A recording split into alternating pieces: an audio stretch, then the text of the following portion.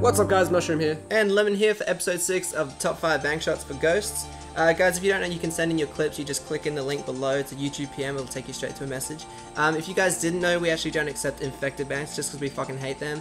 We don't really agree with them, so please don't send them in. That's right, starting at number 5, we've got Juz Enigma, the leader of the Justice, Justice, I don't know how to say that properly, knifing division, and he hits this nice game-winning kill on the map Tremor, taking out a number 5 spot. Alright, very nice. Number 4, we've got Red Dog. I think he's got a little bit more in his name, but Red Dog was all we came up with. But look at the spank. Gets it off the wooden plank through, past that little crate, over into this area. That was really, really sick.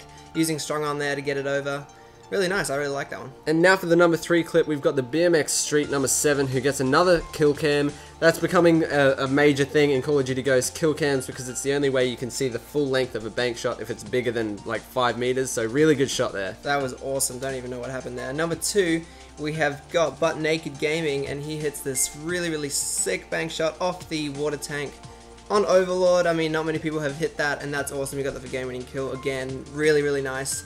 Now this number one is Juz Rampage and he hits an epic shot and I mean epic and part of that is because it's not a kill cam. Um, he hits this awesome shot on the map Sovereign. Most of you probably haven't even seen the outside of the map if you haven't ever been up in a Helo Scout but he hits it off the roof down onto that camper spot there for an epic shot. That's so cool. Remember guys, send in your clips with the link below and we'll catch you guys next week. That's right.